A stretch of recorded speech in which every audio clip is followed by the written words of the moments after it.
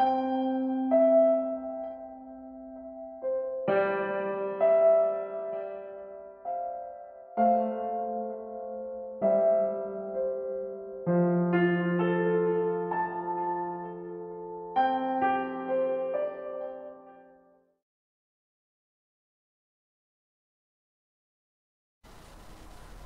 книге «Второе Паралипоменон» 9.13 написано Весу в золоте, которое приходило к Соломону в один год, было 666 талантов золота. И вот многие люди не знают, а, что такое талант и что такое сикль. Ну, мы это тоже знать-то не можем. Вот. Даже простое я спрошу, а что такое рубль? Да, рубль это в разное время разная стоимость ему. Раньше кирпич хлеба стоил 16 копеек. А если еще раньше взять, ну там вообще на одну копейку можно было наесть, если вот.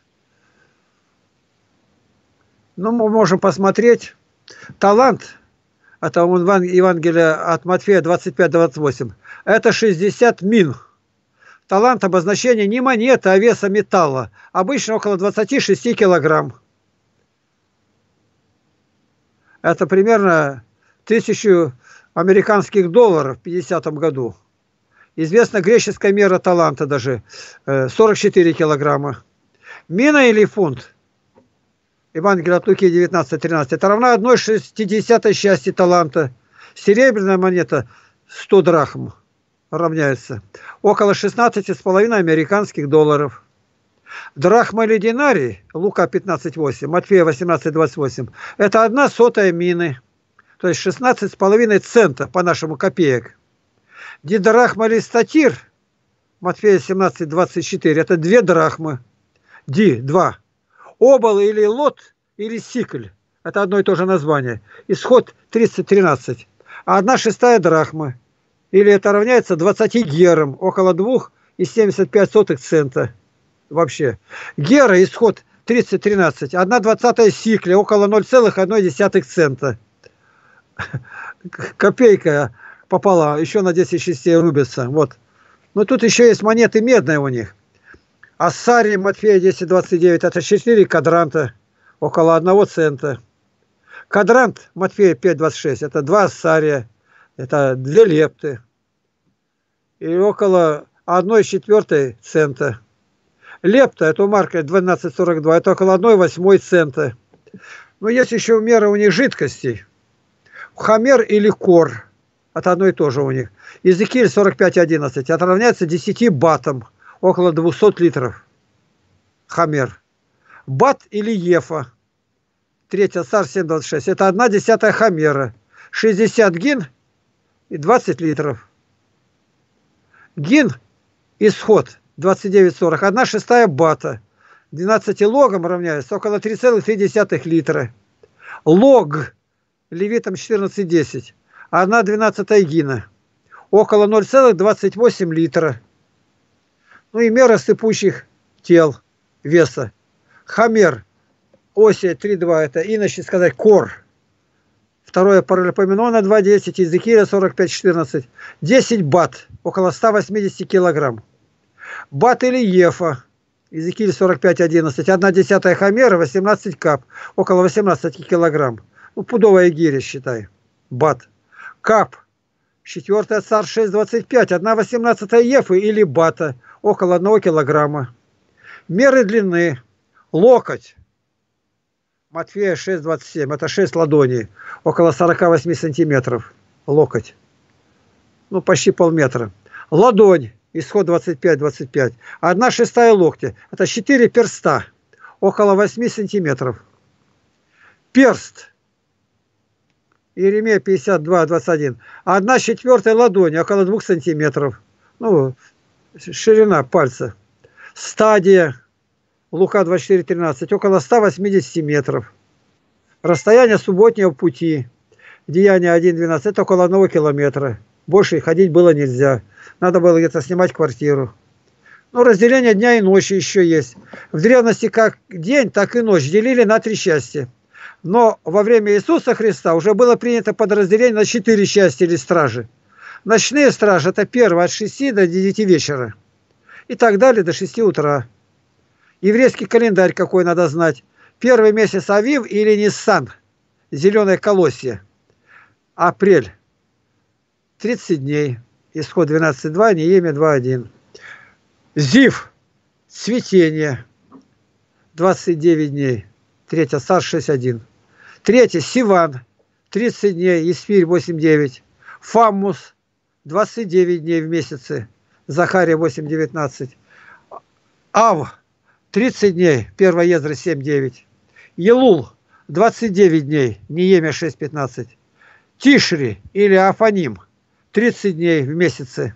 Третья Сарс 8.2, вторая Паралипенон 5.3. Бул или Мархишван, дождь. 29 дней. Третья Сарс 6.28. Кислев. 30 дней, Неемия 1.1. Десятый Тибев. 29 дней.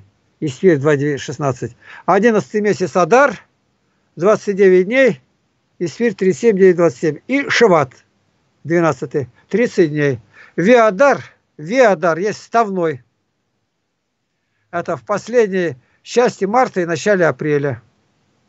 Потому что у них через сколько там лет набиралось э, целый месяц. Вот такой маленький вопрос. Ну, все на этом. Все меры я выписал где-то. Сейчас не помню где.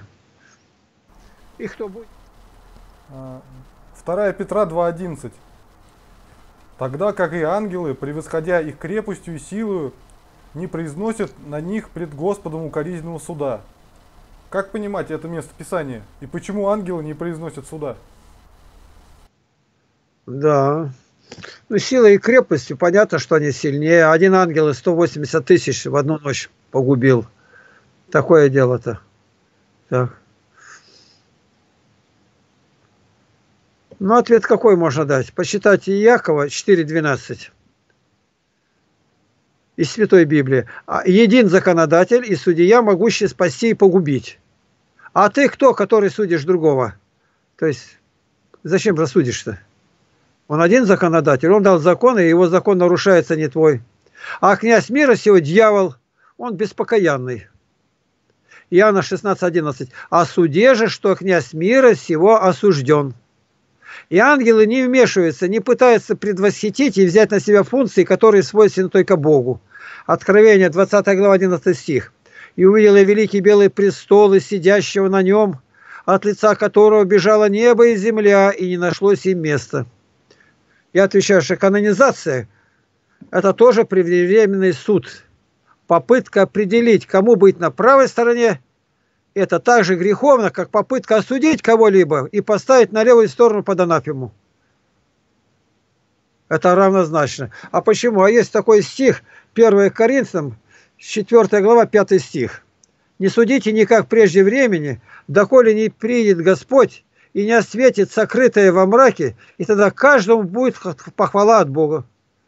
Очень даже просто. Скрытое во мраке. Вот читаем где-то там у Паисия есть, он в город какой-то заходит, а там траурные флаги, музыка печальная. Ну все, кинотеатры закрытые. А что, умер праведник. Такой праведник в столетие один раз рождается. Он решил посмотреть, подошел когда туда и видит, как стоит дьявол, и у него в руках трезубец, и он бьет его в грудь и душу из него вытаскивает. То есть сделал для своей славы, там еще что-то, подарки брал, там ну, проще такое вот. Это очень опасное дело. Почему молитвы составляются? Боже, будь милостив ко мне грешному. Создавший меня Господь, помилуй меня, без числа я согрешил. Господи, будь милостив ко мне грешному. Поэтому молитва считается, когда на коленях стоит, прости мне грехи, которые я сотворил в ведении и неведении, в уме и в помышлении, в дни и в ночи и во всей жизни моей прости и благослови. Вот такой ответ, что он один законодатель и судья, и нам не надо туда вмешиваться. А в церкви никак не Там слава крашенинников, там еще где-то Матрона, и вот назначают. Католики своих канонизируют, и канонизируют тех, которые рубили христиан православных, которые гнали, которые убивали их. Они их канонизируют. вот начинает говорить, а почему вы отрицательно относитесь, ну, и называют там человека такого, Александр Невский, например. Александр Невский, а за что его славить? Он всю жизнь воевал. И акафисты все они неправильные. От юности возлюбил Еси. А что он возлюбил Еси? Он возлюбил кататься на коне, махать мечом, любил родину и так дальше. Ну, неправду говорят, а как я могу с этим согласиться? Вот начинают праздно, а тебя как звать? Владимир. А бывает, отец Владимир, Владимир Владимирович. Ну, то есть, кругозор-то какой. А Владимир кто? Язычник. У Соломона было 300 жен, 700 наложниц. Итого тысяча, а у этого было 2000. Соломона в два раза превзошел. Мы его знаем такое. Главное питье, радость питье. Так а потом он не пил, а потом он уже не Владимир был. Вот Владимир, Владимир был до купели. Как купель вышел, из купели выходит, его уже священник называет по имени Василий. Откуда вы взяли Владимиров-то? Все Владимиры во всей стране и во все тысячелетие, это все безбожники, в честь безбожника названы. У него паспорт был. Как? Так вы еще по паспорту называете. Он Василий. И вот Глеб и Борис. Бориса и Глеба. Так это языческие имена он им дал, когда неверующий был. А когда они приняли крещение, их назвали Роман и Давид.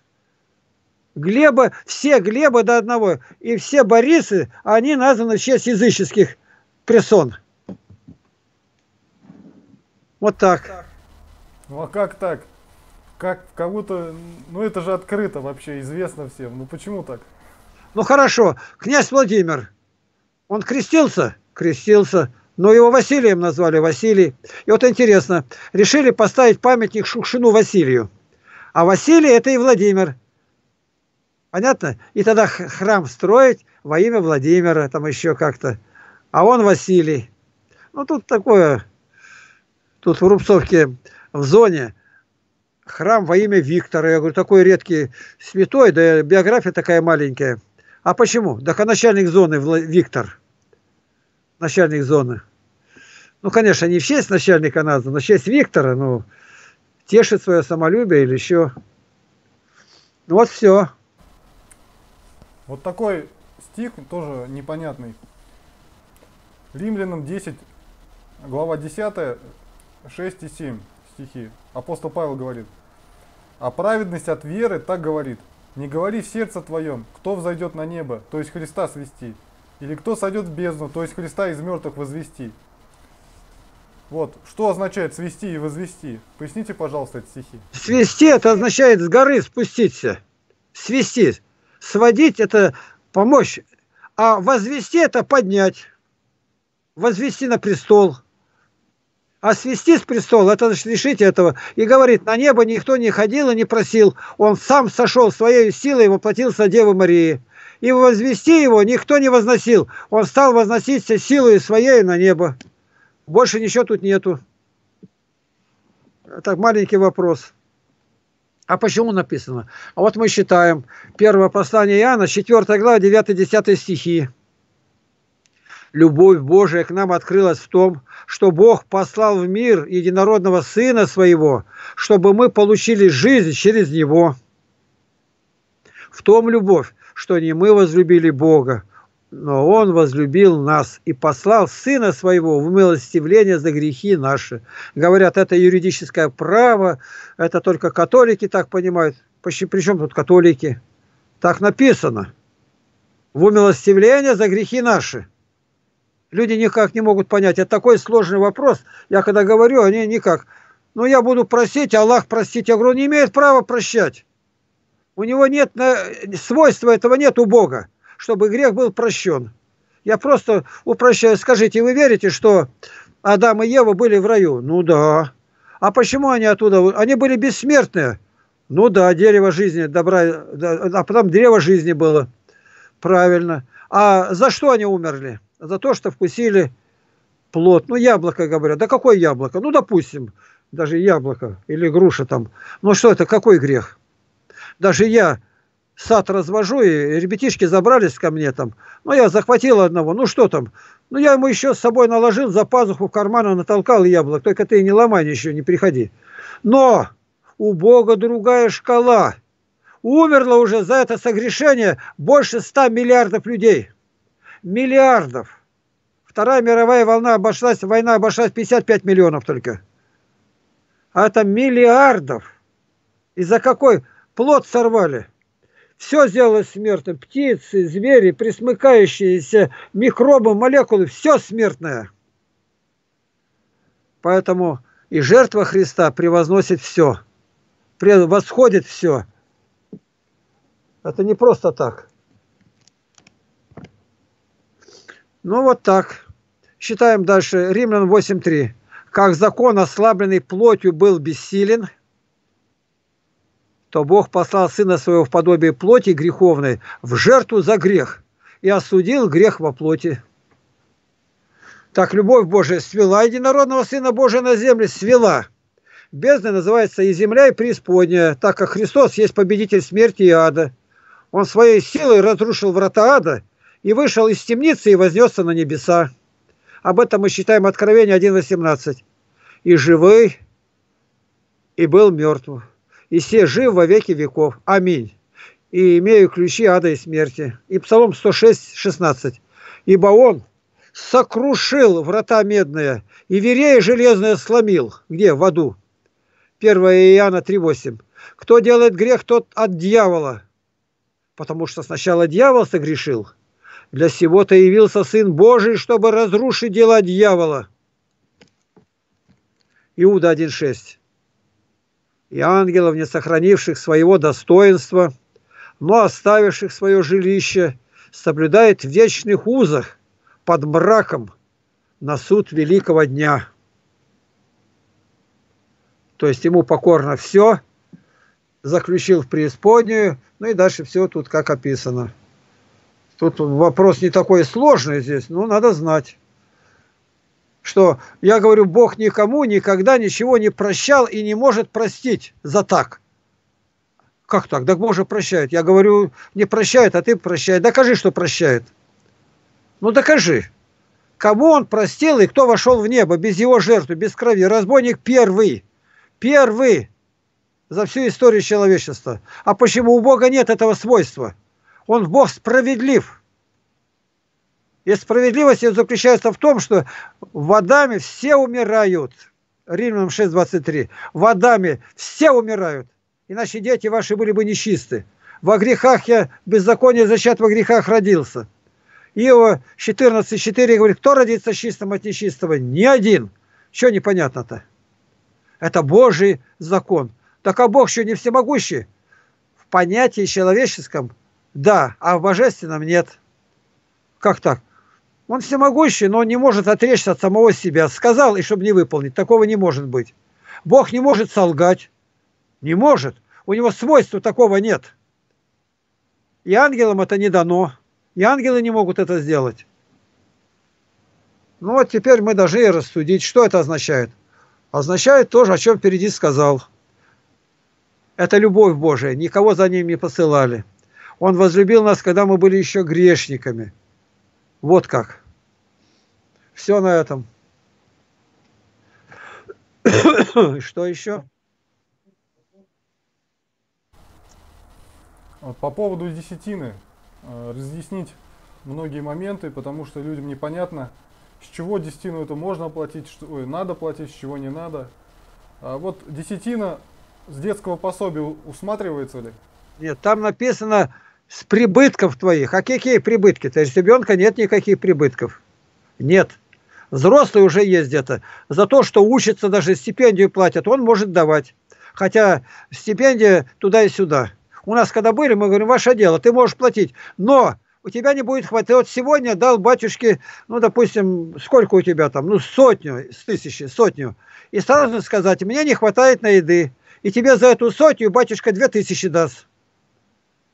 Ты должен это движение сделать. Бог и без нас знает, что мы в хлебе нуждаемся, но мы каждый просим, хлеб наш насущный дай нам день, на сей день. А зачем? Чтобы мы ели с благодарностью. Он не наш, земля не наша, воздух не наш, солнце не наш, все не наше, и вода не наша.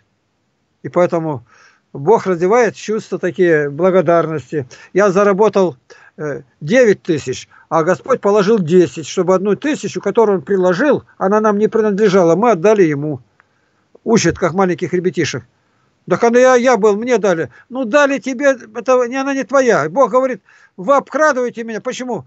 Если вы не отдаете, то вы жадничаете, а то обкрадываете.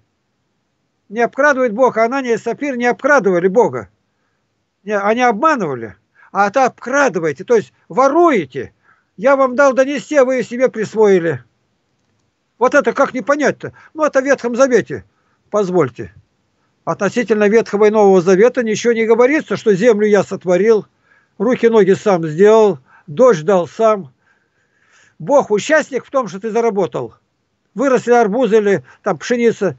Ну, хоть какую-то часть Бог занимает в этом или нет? Земля Божья, воздух Божий, гроз, дождь, все его, его. Почему что ему не... Прими меня в соучастники-то, Господь говорит.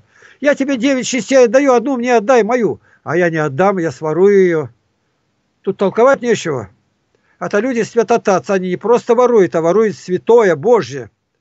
Вы меня обкрадываете, все вы, весь народ. С детского пособия. Это строгий был порядок такой. Везде соблюдалось, во взаимоотношениях. Должен быть статус человека определенный-то. Как в мире называют табель о рангах. Вот эта десятина, это божественное установление. Левитам 27, 30, 32 и всякая десятина на земле из семян земли, из плодов дерева, дерево принадлежит Господу. Это святыня Господня. Если же кто захочет выкупить десятую, десятину свою, то пусть приложит к цене ее пятую долю. И всякую десятину из крупного и мелкого скота, из всего, что проходит под жезлом десятое, должно посвятить Господу. То есть вот так протянуя палку, скотину гонят, и какая подойдет десятая, ему уже не принадлежит, должен отдать. Числа 18, 21, 24, 26, 28. А сынам Левия вот удел. Вот я отдал в удел десятую десятину из всего, что у Израиля, за службу их, за то, что они отправляют службы в скинии собрания, так как десятину сынов Израилевых, которые они приносят в возношение Господу, я отдаю левитам в удел – Потому и сказал я им, между сынами Израилевыми они не получат удела. То есть все будут пахать землю, а вам распахивать души людей. Когда вошел Израиль, страну разделили на 11 частей. А 12 а колен. Левину колену Бог не дал. Не дал земли. А объяви левитам и скажи им, когда вы будете так когда вы будете значит, что возносить, вы делаете, возносите из нее возношение Господу. Будете брать от сынов Израиля десятину, которую я дал вам от них в удел, то возносите из нее возношение Господу, десятину из десятины. Так и вы будете возносить возношение Господу из всех десятин ваших, которые будете брать от сынов Израилевых, и будете давать из них возношение Господу, Господня Аарону, священнику десятина изначально нам не принадлежит. Образно сказать так. Бог является участником всех дел наших добрых всего. Дал все дыхание, жизнь. Ну, поэтому несчастье все от Него, и мы к Нему. Но Бог просит, требует учиться делиться с Ним. Это десятина изначально к нам не принадлежит уже отнести в храм на содержание священства. Я не пойму никак, что не ясно. Заработков твоих не с детских. Ребенок не может зарабатывать. Это его молочишка. Пенсия твоя – это твой заработок, который ты вложил в пенсионный фонд. С нее непременно отдавать десятину. Со стипендий не платится, с больничного платить. А вот смотрите еще такой, вот я человеку про десятину рассказал, он на работе у себя да. Показал ему по Библии все, и он тоже хочет платить. Ну вот он рассказывает, а, вот он мне вопрос такой задал, как поступать. Он таксист, у него машина в кредит. То есть он каждый день, каждый день две с половиной тысячи отдает за эту машину, а, то есть там банку, ну, примерно надо две с половиной тысячи в день. То есть э, плюс эти две с половиной тысячи он на ней же зарабатывает на этой машине. И э, надо еще за, получается, за бензин, за топливо платить. И вот остается его личный там доход очень маленький. В итоге он, допустим, в день зарабатывает около там, ну, допустим, три с половиной тысячи. Две с половиной тысячи отдает на, на кредит, и у него там маленькая сумма остается только вот на личные расходы. С чего десятину ему платить? Заработка. То, что вот это сверх вот этого остается, да? Да. Нет, что у него было в начале? Что он заработал? Там написано с прибытков твоих, а прибыток-то у него полный. Если только он там когда-то эти деньги э, оплатил или как, тогда дело другое. А если никак, прибытка. А так он будет всю жизнь платить, и у него десятина вообще никакой не будет. Он долги, долг берет. Но если бы он в долг не взял, а работал в это время, это такие же деньги зарабатывал, платил бы за это? Платил, но как же он заработал? А тут получается как? Он взял в кредит, а кредит-то заработка идет. Приходится платить. У него совсем мало остается. Я вот не знаю, как это уже там шофер, но я абсолютно противник, что идут в кабалу. Должник делается рабом взаимодавца, написано в Библии. И вот берут по 12 больше процентов ипотеку. И вот уже заплатил он, три дома купил бы, три. Он платит уже много лет, и все платит и платит. Ну ты раб того, кто тебе дал. Делается рабом взаимодавца. Вот по милости Божией я не был должен в жизни ни одного дня, ни одного рубля. А у меня денег нету. Нету, я бегу на вокзал, кому-то что-то помочь, поднять, где-то уголь разгружать с вагона, дрова пилить, там снег скинуть, печь сделать. Но в долг я не пойду. А если ничего нету, хватаю какой инструмент, я бегу, ловлю рыбу.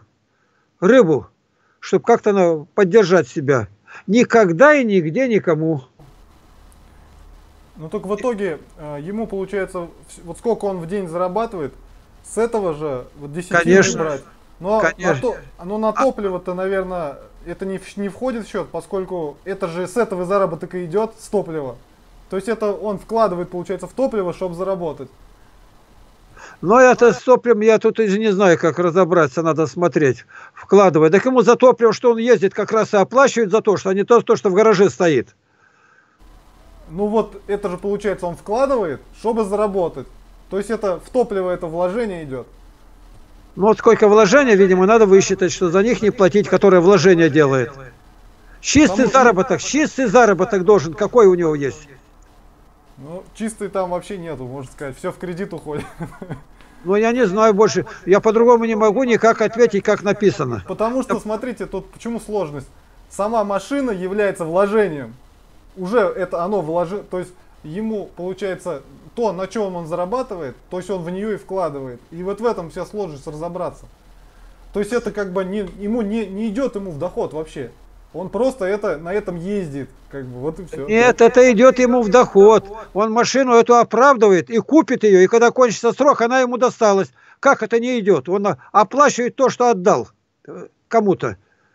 Он как раз каждый день получает доход, не считая чтобы чистый доход был, высчитать горючее только. И все. Горючее пусть высчитает, за который горючее с этого не платится, потому что вкладывает. А остальное чистый доход у него идет. Он утром вышел, тысячу вложил в горючее, пять тысяч получил в день. У него остается чисто прибыли 4 тысячи. С четырех он должен 400 рублей отдать. Тут легко считать. А вот эти деньги, машина, раз взята в кредит, там, значит, процент э, больше он за нее платит, чем она реально есть. Стоит ли высчитывать вот этот процент? Это, понимаешь, нет, это его не касается, это не касается. Он должен платить за заработок. Он дольше будет работать за нее, и дольше будет выкладывать, и десятина от него сойдет. Никаких процентов кому он должен не надо. Сколько он приобретает в день. Все. А процента может быть 50 процентов. Еще теперь он знал, куда лез? Да, именно доход, заработок, что выросло у него. Скотина, морковка. У нас все это приносили батюшки, он никогда ничего не брал. Мы идем, дети, набрали малину, мы сразу к батюшке. Да он не берет, ну, нас благословит за это. И дети приучаются. Батюшка, на, там, смородина, малина. Ну, он посмотрит, там, ну, возьмет, бывает, иногда горсточку. Дети хорошие, ну, с Богом. А у него свои там и малинник, и сады, и матушка-агроном. Он не нуждается в этом.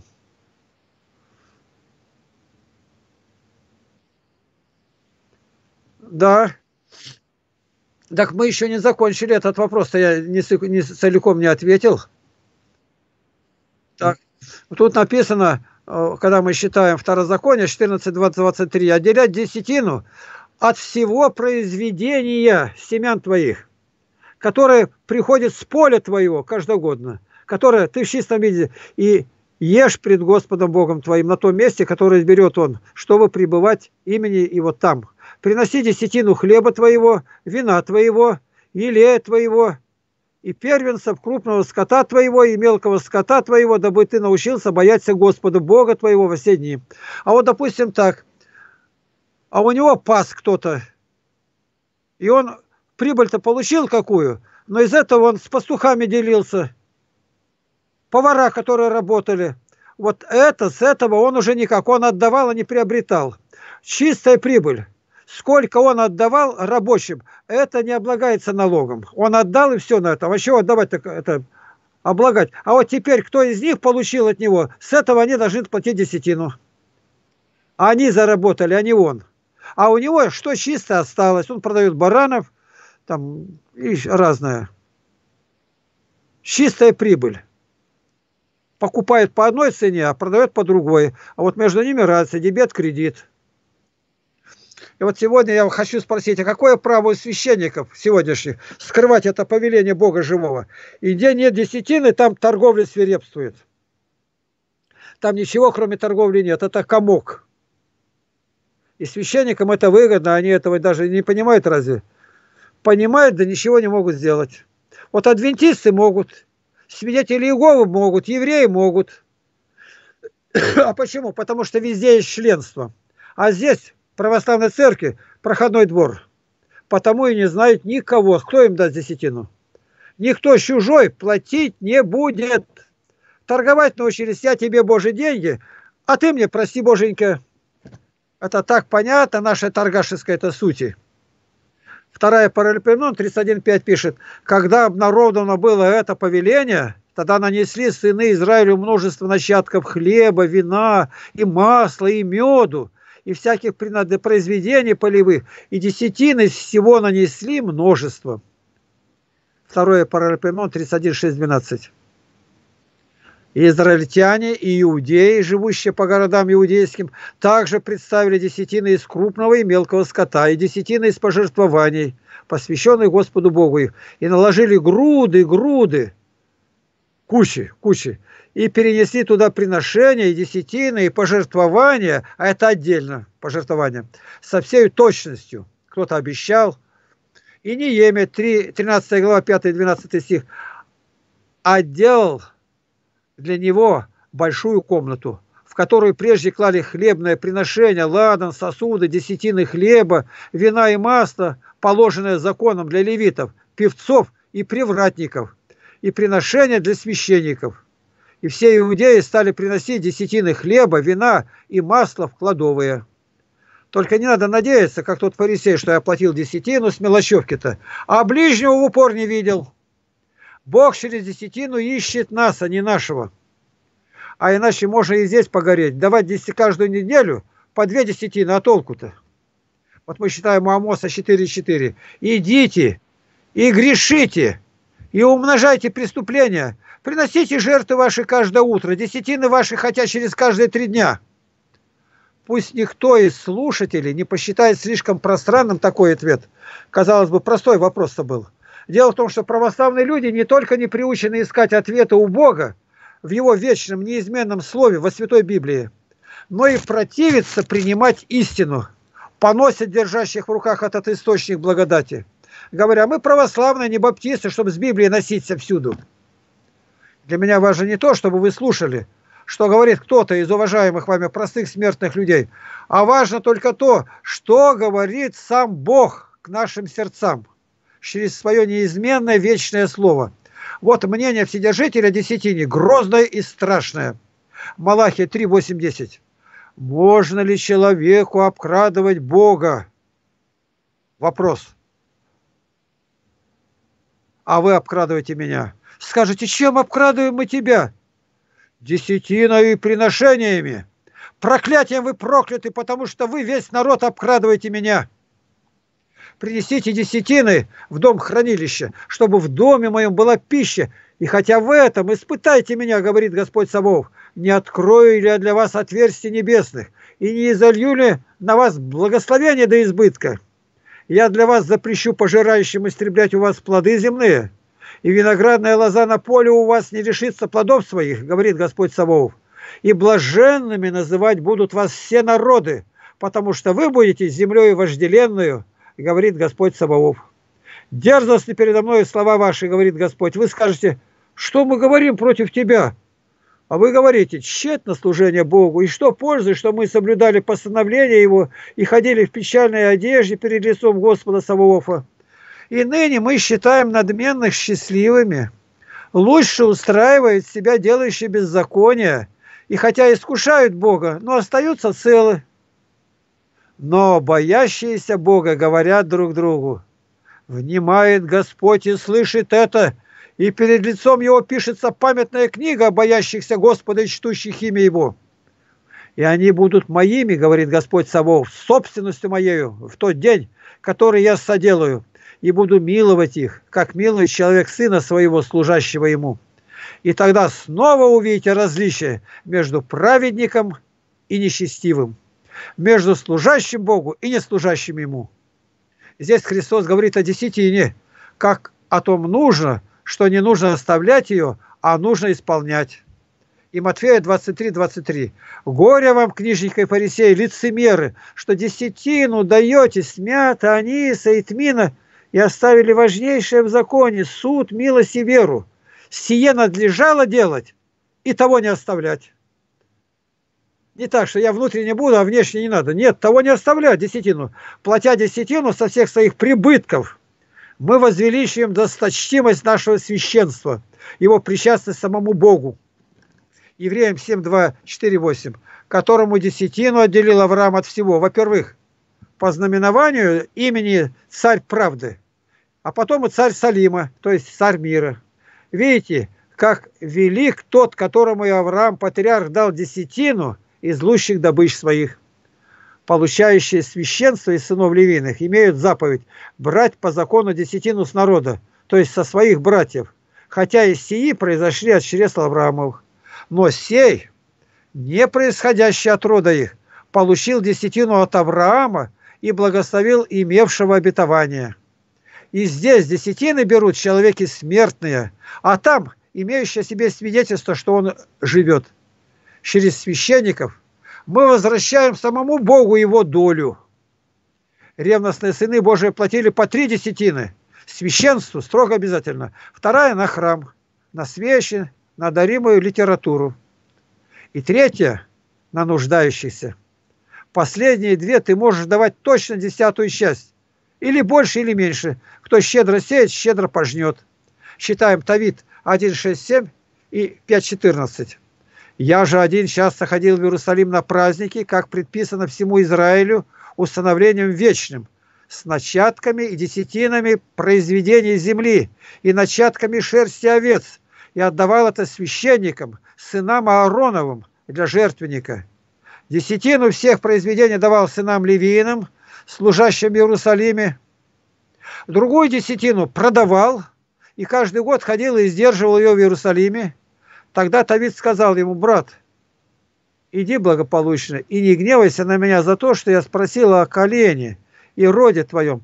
Ты доводишься брата мне из честного и доброго рода. Я знала Наню и Анафана, сыновей семей Великого. Мы вместе ходили в Иерусалим на поклонение с первородными и десятинами земных произведений, ибо не увлекались заблуждением братьев наших. Ты, брат, от хорошего корня.